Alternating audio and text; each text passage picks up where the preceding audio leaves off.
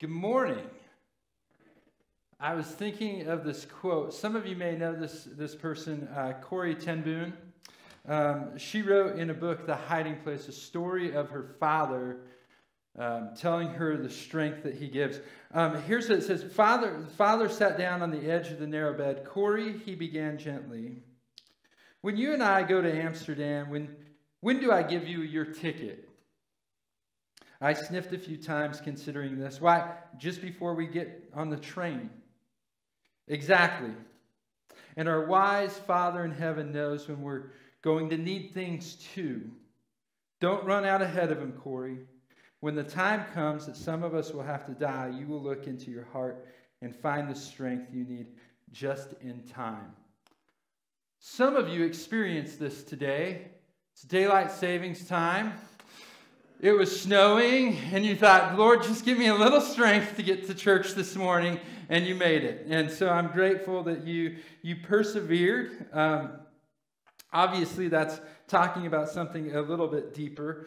Um, but today we are going to, to go through um, a couple passages of Scripture uh, rather quickly. And, and, so you just need to be aware. We're going to rush through this. And then I'm going to give you three questions at the end of the passage. Just three questions um, that you don't have to answer out loud. Um, feel free to email your, your answers directly to the staff tomorrow, and we will grade your responses and have them for you uh, next week. No, I'm, I'm kidding. Um, but before we start, let, let me just pray. Uh, Father God, we thank you for your grace and your mercy. Father, you are so good to us. And we do, we thank you. Um, we thank you for the snow. And Father, it's just a reminder that our sins are like scarlet. You cleanse them to be white as snow. And Father, I know that some of us are tired today. Um, but it's just a reminder that at times in our life, Father, our, our spirit is willing, but our flesh is weak. And so, Father, we ask that you would use this time as we look at your word, that you would use it to shape our hearts, to conform our lives to you. In Jesus' name, amen. If you have your Bible, turn with me to Mark uh, chapter 10. And, and, and or I'm sorry, Mark chapter 11. I'm going to start in chapter 10, verse 45. Um, this is the, the key verse in the Gospel of Mark. If you're, if you're wondering what sum, summarizes Mark, what verse that would be, it would be this one. It's Mark chapter 10, verse 45. It says this For even the Son of Man came not to be served, but to serve and give him give his life as a ransom for many. That's the story of Mark, is that there's this cosmic clash, and it's the powers of this world versus the kingdom of heaven, the kingdom of God. And, and we see this confrontation, we see this battle. And here Jesus tells us that the, the, the way that the, the kingdom of God enters in is it's different. So, in our world, in, in a worldly way, it's quicker, faster, stronger, better, bigger, everything that's, that's large. But with the kingdom, it's small. It's not asserting ourselves to be first and foremost, it's taking on the humility of Jesus. It's secret, it's quiet, it's subtle. And we see this here in a moment. So, in chapter 11, we begin with verse 1.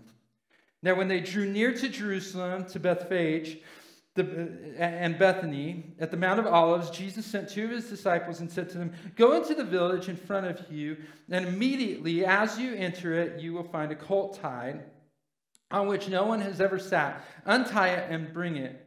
If anyone says to you, Why are you doing this? say, The Lord has need of it, and will send it back that here immediately. The, the time was for the Passover. We're getting to the final week of Jesus' life. And, and Jesus is making this pilgrimage, as many people would. Uh, the city of Jerusalem at the time would have been between around 20 to 30,000, and the city could have swelled during the Passover week to anywhere between 100 to 150,000 people. There are a lot of people. And, and Jesus sees this, and he comes up over the crest of the mountain, and he probably looks down on the city, and he sees the temple and he sees uh, Jerusalem, Jerusalem, and he's going to her. And so he goes and he gives instructions to his disciples. We don't know who the disciples are. Most likely one of them was probably Peter. But he gives them some very specific instructions. Um, look here what it says, starting then in verse 4. He says, And they went away and found a colt tied at a door outside in the street. And they untied it. And some of those standing there said to them, What are you doing untying the colt? And they told them what Jesus had said, and they let them go. And they brought the colt to Jesus, and they threw their cloaks on it, and he sat on it. Now, this is what's known as the triumphal entry as Jesus goes and he enters in. But one of the things about this is it's just kind of puzzling as to why there's so many details about this colt, about this horse, about this, uh, this domesticated animal that hadn't been ridden yet. And, and a lot of commentators, a lot of people will say it's just simply this. It was, it was one of the disciples who was writing this down, Peter, Mark, who, who, who was there, and, and they were just recalling what had happened what had actually happened. But here's the thing that you and I probably just need to take away from this. Let there be no mistake about it that Jesus knew the details of what was going to happen when he went to in, when he entered into Jerusalem. And Jesus, the, the King of Kings, the Lord of Lords, creator of heaven and earth, holding all of creation together, knew the details that when he would go into Jerusalem, he would be crucified. It was not a surprise for him. It, it, probably was a surprise for the disciples. I still think that the disciples at this moment, um, they were waiting for a political Messiah. They were waiting for someone to come in and, and clear out Rome of their authority, of their rule, of their reign, that, that if we could just move them outside, then God's kingdom would be ushered in. But Jesus knew differently. And we see it in the story of the colt. And so the disciples bring the colt to him, and Jesus, and they put their cloaks on him, and Jesus puts, you know, Jesus gets on the cloak and he rides in. Here's, here's what happens. Verse 8 And many spread their cloaks on the road, and others spread leafy branches that they had cut from the fields. And those who went before and those who followed were shouting, Hosanna! Blessed is the one who comes in the name of the Lord. Blessed is the coming kingdom of our father David. Hosanna in the highest. God save us. You've probably heard Hosanna. It just simply means God save us. Help us. And during the time of Passover, it, nationalism would have been very high on people's radars. It was interesting with the Roman government, with the Roman Empire. If, as, as Rome began to expand its empire, uh, what they would do is they would say, listen, go ahead, worship whoever you want to worship, but as we're expanding, just, just add Caesar. Go ahead, keep what you're doing.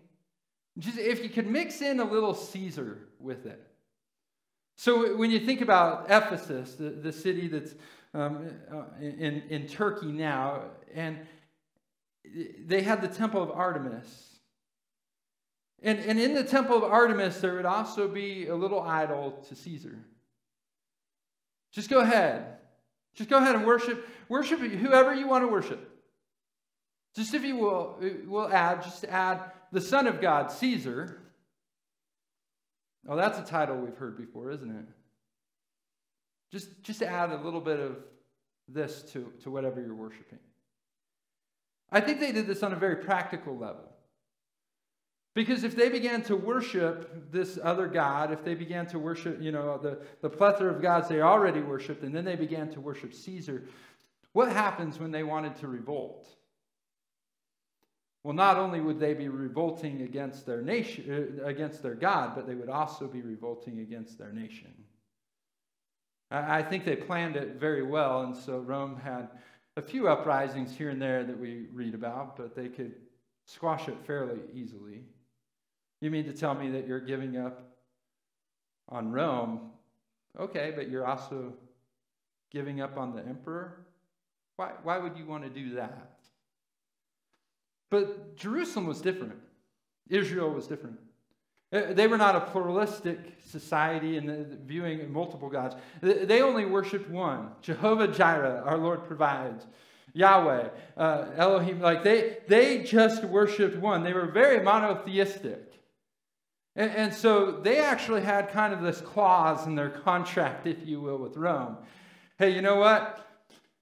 You guys cause so you guys are just such a pain in our rear. we're just not we're not going to force you to worship the emperor. Uh, you just worship your God and pay your taxes, and we'll call it good. We'll, we'll just kind of look over this other part of that we make everybody else do in the Roman Empire. And so oftentimes we read about how when the governors or the, the, the leaders wanted to make Jerusalem upset because of things were happening, they'd actually take their flags, their standards, and they'd march them into the city, and that would cause an uproar. And so this was a city that was fully dedicated to worshiping one God, King of Kings. But there was a problem. Because even though they worshiped the one God, every time they went to the temple, there was the Roman guard with the sword on his hip. Every time they went to cross a bridge, there was a tax that needed to be paid. So during this week long festival of Passover, oh, nationalism was high. Let's get rid of Rome. And you would bring people in, people from all over the country would come. From Galilee, from north, even from surrounding, surrounding countries, they would, they would come and they would gather and they would say, We are God's people, and, and Hosanna, God save us. And so when Jesus came in, it makes sense. They were looking for a Messiah. They were looking for a Savior. They were looking for someone to liberate them politically. I don't know that they were quite looking for someone to liberate them spiritually yet. But that was their hope. And oftentimes it's been said, and we'll get to this in a moment, but it's been said that the same crowd that worshiped Jesus on Palm Sunday was the same crowd that crucified Jesus on Thursday. And I got to tell you, I, I don't think that's really accurate. Oh, it makes for good sermons. but we're in this for more than good sermons, aren't we? We're in this to understand. Because the people that were cheering Jesus on, on, on Passover, they were from different areas. They were the, the part of the crowd that swelled and see, the people in Jerusalem that ended up crucifying him, they were the religious leaders. They were the ones, the priests, the scribes. They were the ones that were kind of shaking Rome's hand, if you will, a little bit. If we could just add a little bit of Rome, we'll be okay. But we can worship God, but we don't want to make Rome upset. And so Jesus comes into the city and they cheer. And where does he go? Verse 11 And he entered Jerusalem and went into the temple. When he had looked around at everything, as it was already late, he went out to Bethany with the twelve. A little uneventful. Here we go. Where are we going? Well, we're going to go into Jerusalem. A lot of fanfare just to get to the temple and then walk away.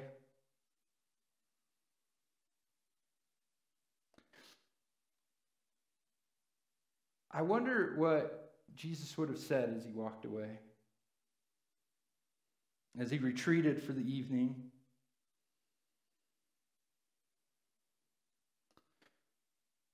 We don't know for sure, but the next day, the next morning, we get a little bit of a clue.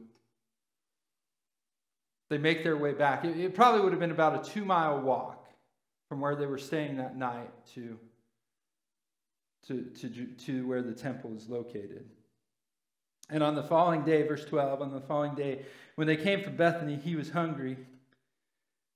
And seeing in the distance a fig tree and leaf, he went to see if he could find anything on it. And when he came to it, he found nothing but leaves, for it was not the season of figs. In verse 14, and he said to it, May no one ever eat fruit from you again. And his disciples heard it. He cursed it. We'll come back to this in a moment. But isn't that interesting? Why Mark and the other gospel writers would include this event with a fig tree as he's heading into Jerusalem. And then he gets into the temple. Verse 15 And they came to Jerusalem, and he entered the temple and began to drive out those who sold those who, who, brought, who bought in the temple, and he overturned the tables of the money changers and the seats of those who sold pigeons. And he would not allow anyone to carry anything through the temple. There's a couple different ideas about this passage. One of the ideas is this is that the, the, the money changers there, it wasn't that they were changing money, because again, the city would have swollen to 100,000, 150,000 people. People were coming, and, and, and because they didn't want to use any Roman coinage, because it had the emperor's face on it, they, they would actually exchange it then for, for something else. But oftentimes it would be high um, oftentimes, the price of a goat, you, I mean, you know how it is. Goats are one price, and then you get inside an airport, and it's a different price, and you just, it just makes the whole flight just terrible, right? Like you're just mad. And, and so it's hard to enjoy your flight. It's hard to enjoy your worship when you know that you're being taken advantage of. So that's one thought. Another thought, and, and this next passage kind of gives us the, a little clue to it. Look at what it says here. In verse 17, it says, And he was teaching them and saying to them, It is not, is it not written, My house shall be called a house of prayer for all nations, but you have made it a den of robbers. And what Jesus does there is he reaches back and he pulls out two passages. One is found in Isaiah and the other one is found in Jeremiah. Let's look at them. This is what it says These I will bring to my holy mountain and make them a joyful noise in my house of prayer. Their burnt offerings and their sacrifices will be accepted on my altar, for my house shall be called a house of prayer for all of Israel. No, that's not what it says for all peoples, not just Israel, all peoples. And Jeremiah, has this house, which is called by my name, become a den of robbers in your eyes? Behold, I, I myself have seen it, declares the Lord. Taking advantage of people, letting injustice happened freely. It appears that, that there was a court of Gentiles at the temple.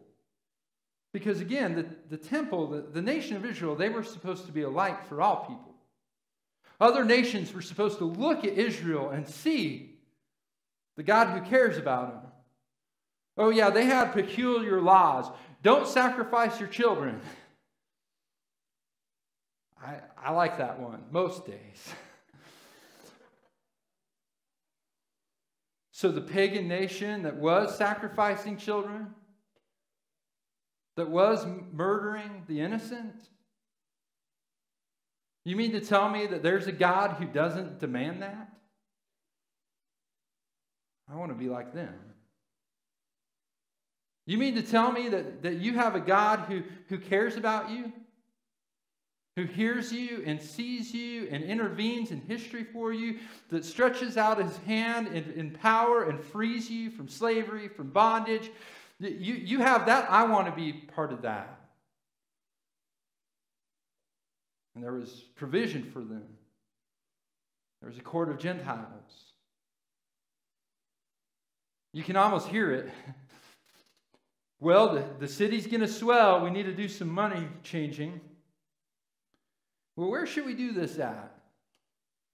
We've experienced this a little bit here at Southeast, to be honest with you. With all the construction that's happening, we're looking for rooms. We're trying to fit people in closets. If you're part of that women's Bible study group that meets on Sunday mornings, you're kind of in this prayer room. Where, where can we put the money changing? Where can we put the selling of animals? Well, there's this place, there's that court of Gentiles Nobody uses that. Why don't we just put it there? No Gentiles are coming anyway. It's pretty dusty. Okay, let's put it there. Do you understand why Jesus was upset? You see, my temple, the, the kingdom, is not just for Israel, it's for everybody. And you've taken the place where they're supposed to come, where everybody is supposed to come, the court of Gentiles, and you've exchanged it for stuff in the long run probably doesn't even matter. I understand why he's angry. I think that's why he flipped the tables. And scholars tell us that it wasn't just that there was a moment where he did this, but during this moment, this, this time where the nation gathered together to sacrifice, he ended sacrifice on that day. No more. We're not doing it. You don't have your heart right. You're not welcoming for all people to come and know who God is. And instead, you're actually driving people away, which means that you just don't get it. You see, God was being robbed of worship from the nations, but the people were being robbed of God. Think about that for a moment. Let that sink in. You see, you have a God who spoke things into existence.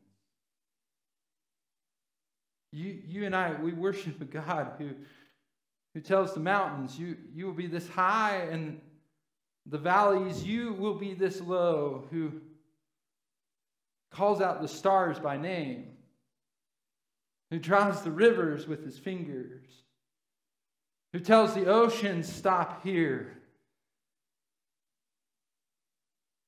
who knows your name, knows everything about you. desires a relationship with you. You see, that's the God that we worship. That's the God the nation of Israel worships. But what they were doing in that moment and for years earlier, as we can see that it is echoed in Isaiah and Jeremiah, and the, the list of prophets goes on, is that they were not making it easy for people to get to know God. Instead, they were creating barriers so people couldn't get to know God. They were getting in the way.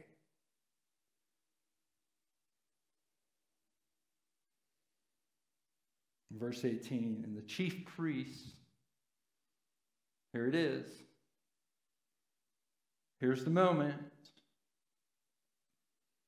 And the scribes heard it and were seeking a way to destroy him.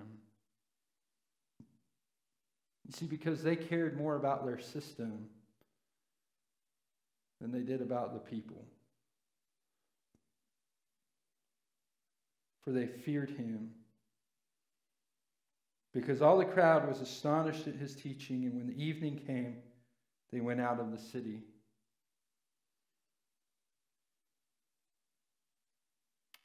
So as the day was ending, they decided to go home.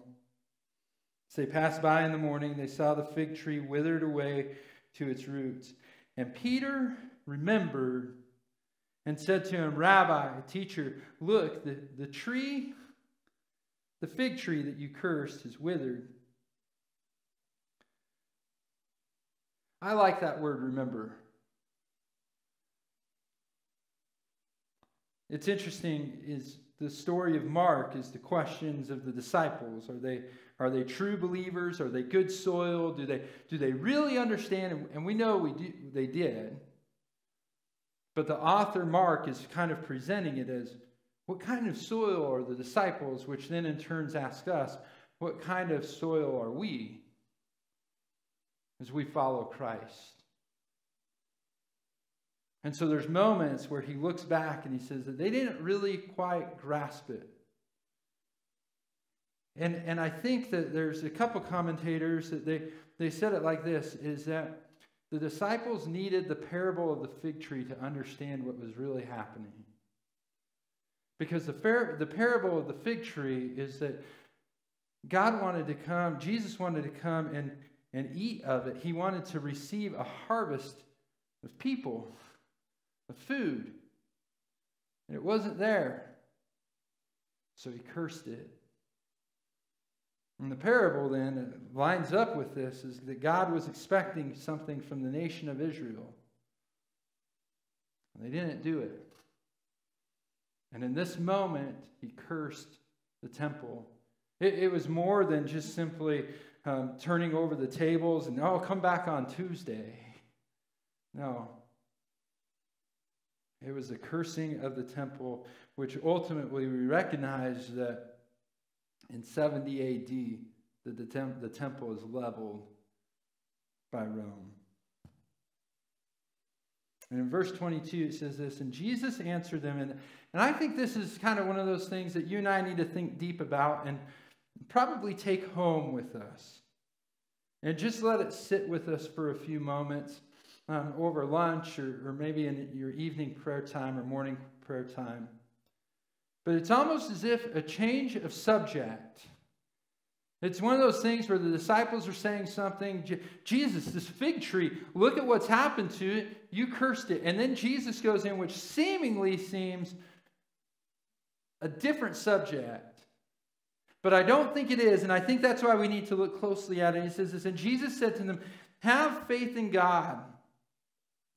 Truly I say to you, which it's plural, it's corporate, it's not individual in this moment. Now, there are moments where, where we are told, cast all your anxieties on him because he cares for you. Don't get me wrong, that, that's in Scripture too. But in this moment, it's plural.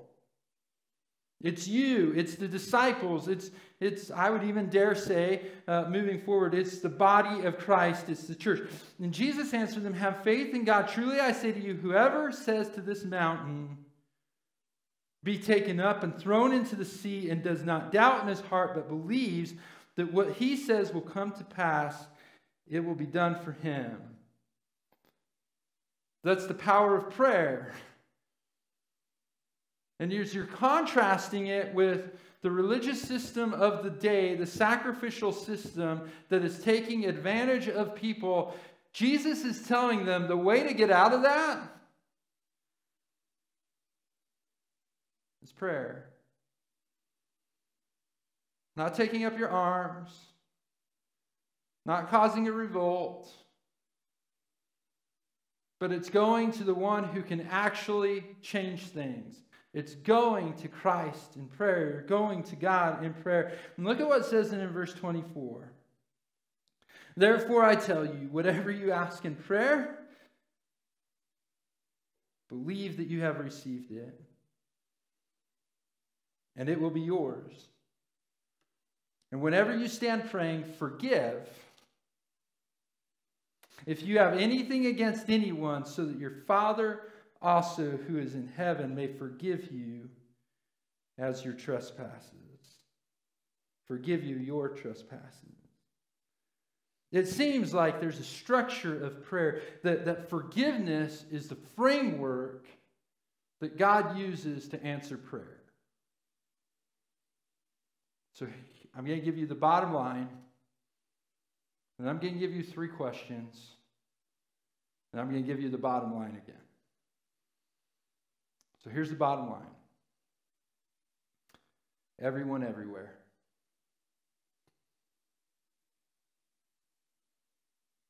Everyone everywhere. When I look at Jesus going into the temple and flipping over the tables, it was because people were making it difficult for them to come and have a relationship with Christ. The relationship that you and I have with Christ is for everyone. It's not just for a select few, it's not just for those people that can get it together, it is for everyone. It's for everyone, everywhere. Eh, your cashier as you go to the store. It's for your neighbor as you go and, and get mail together. It's, it's for, your, for your teacher that you don't like. It's for your professor that hasn't graded your assignment yet. It's your, you know, it's your soccer coach that yells at you. It is for everyone everywhere. That the God of the universe desires a relationship with them. And I know that there's some of you here today that, that, that believe that for other people, but you don't believe it for yourself. And I'm here to tell you today it is for you too. There's no place you have gone that is unreachable by the grace of Christ. It is for everyone everywhere. So here's the three questions. Here's the first one What tables in my life do need to be flipped? What tables in my life need to be flipped?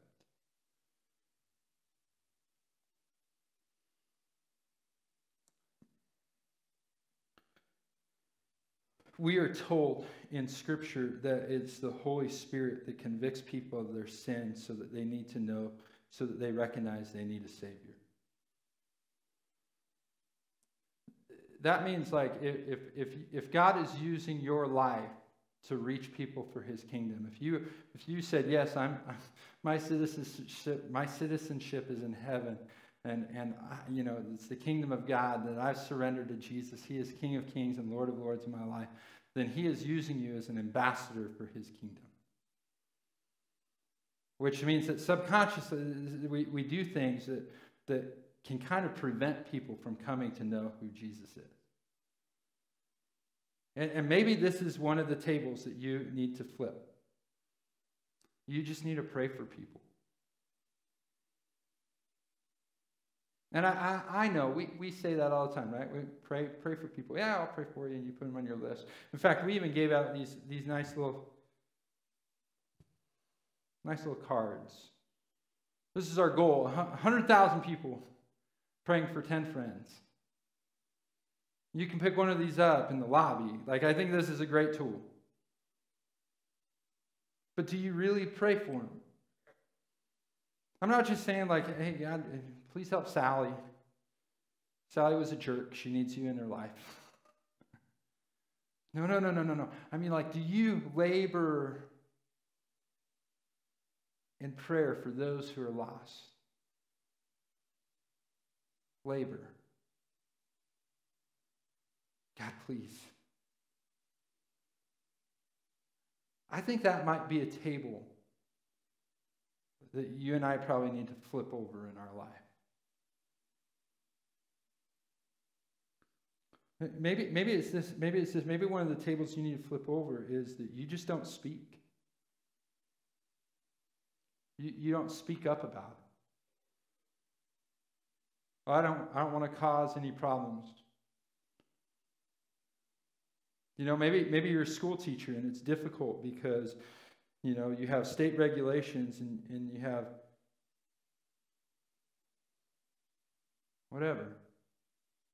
Maybe it's not a school teacher, maybe it's your corporation that you work for, or maybe it's it's something else and, and I get it. There's there's pressure and I'm grateful. Like I'm you know, people ask me what I do for a living and I'm like, well, I gotta talk about Jesus. That's pretty cool.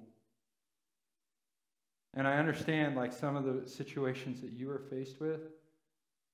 But I'm telling you, like I'm reading the New Testament and I'm looking through Acts, and it's just like, well, you know, I have this choice. I can either obey God or I can obey man.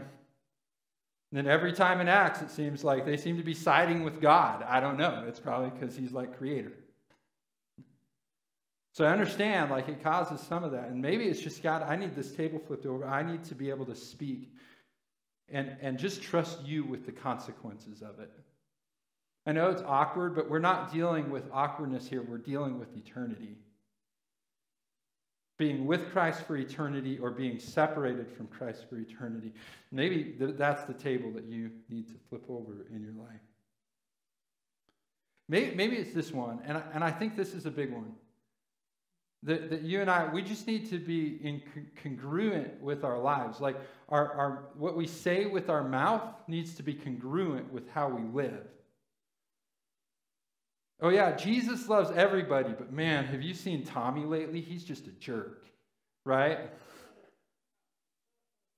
No. But oftentimes we do that. We say, Jesus, you're King of Kings and Lord of Lords, and we know you love everybody except for this person over here. Have you seen Mike?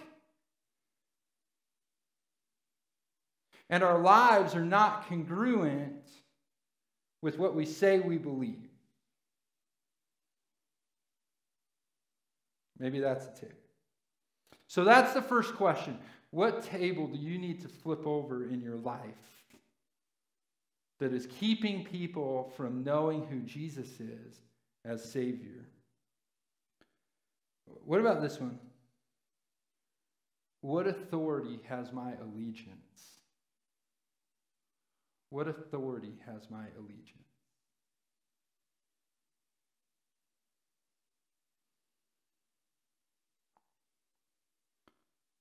Is it a political party?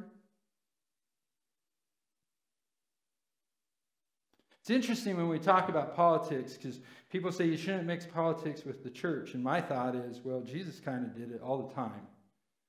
Like it's a kingdom thing. In fact, when you look at the Gospel of Mark, the beginning of the Gospel of Jesus Christ, the Son of God, that whole statement is a political statement the good news, the King of Kings, you know, Lord, gospel, like it is political. And what's fascinating to me is when you push a Democrat or you push a Republican on some of the ideals, how quickly they are to defend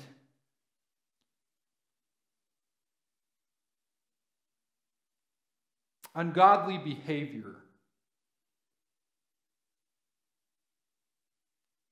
just because it lines up with you politically.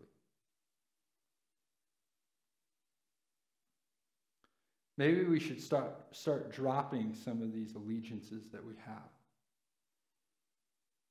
and just focus on the kingdom. What allegiance? What authority has my allegiance?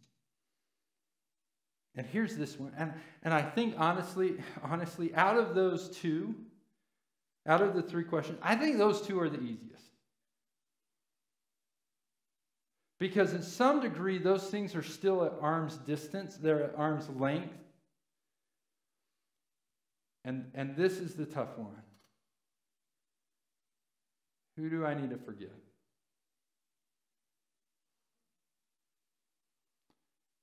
Who do I need to forgive?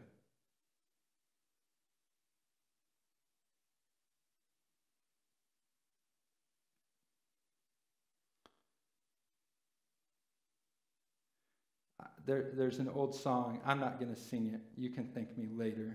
but the line in it goes where the wrongs I have done and the wrongs done to me were nailed at the cross. You see, Jesus didn't just take the sins that you've done and nail them to the cross. Jesus took the things that were done to us and they were nailed to the cross too. And that's an incredible thing. Because what it means is this is that you are not defined by the sins that you've committed. But it also means this you are not defined by the sins that were done to you. Which means you're not a victim. You have a new identity that is yours in Christ Jesus. That when you and I surrender our lives to Christ, He takes all of His spiritual blessings and He pours them out onto you and me. And we are made new. So I can go up to you and I can say, you know what, Bob, I'm really sorry I made a mistake. And God and Bob can say, you know what, Mike, you've been forgiven in Christ.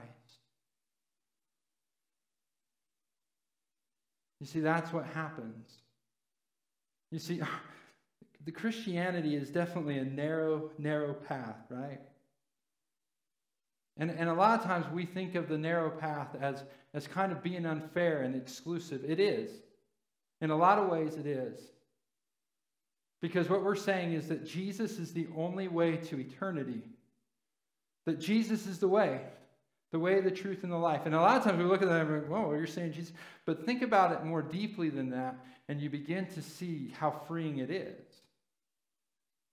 Because one, we recognize that, that um, it's not just for the elite. It, Jesus' invitation is for everybody everywhere. So it's not just for the select few. It's not just if you're on the worship team who should be coming up now. It's not just for the Bible teachers. It's not just for the preachers. It's not just for, you know, the select few that's out there. No, Jesus' invitation is for everybody. So the path is narrow, but the invitation is for everyone. The second thing is, is that we we begin to recognize like everybody gets in the same way. It might be narrow, but here's the thing everybody gets in the same way. It's, it's one way, it's through Christ. It's, it's, it's not like, hey, you know what? Um, you need to go and you need to go to, you know, make a pilgrimage to, to Jerusalem. You need to go and get baptized over here. You need to go and do this. No, no, no. Everybody gets in the same way. It's, the, the invitation is for everybody, and everybody gets in the same way. And here's the key everybody can, make the, can meet the requirements. Because the requirement to be with Christ is to simply be given. It's not what you do, but it's forgiveness. So just wrestle with those three questions. What tables in my life need to be flipped over? What authority has my allegiance? What who who do I need to forgive? And coming back to this bottom line, it's for everybody everywhere. You see, I, I love this. It means, it means that nobody is beyond reach. But here's the other thing that's really cool about this Jesus is our temple. Jesus is our temple. He says that, you know, destroy this temple and I will raise it up in three days. And, and the Pharisees and the re- religious leaders were kind of like, what are you talking about? It took, you know, so many years for Herod to build this temple. And, and later they look and they go, oh, Jesus is our temple. It's him. Which means that our goal is not to get people to a specific place, but rather it's for us to go to places. You and I those who have surrendered our lives to Christ is, is to go. We, it's not that we try to get people to come, it's that you and I are going out to be with people. And that's pretty amazing when you think about it. Because God wants to use you to bring his presence into somebody's life. So you, right now, you might be thinking of um, wow, um, you know, Amy is having a really difficult time, or, or George is going through this incredible struggle, and, and you're thinking in your mind, oh man, if they could just come to church. And don't get me wrong, like I'm not opposed to that. because I believe in the body of Christ, ministering to the body of Christ and building each other up in love, right? That's Ephesians chapter 4. But what it means is this is it when you go and minister to them, you are bringing Christ to them. And that's pretty amazing when you think about it. That you are being the hands and feet of Jesus. Anytime you put your arm around somebody and say, you know what, God loves you, can I just pray for you? And that's pretty cool.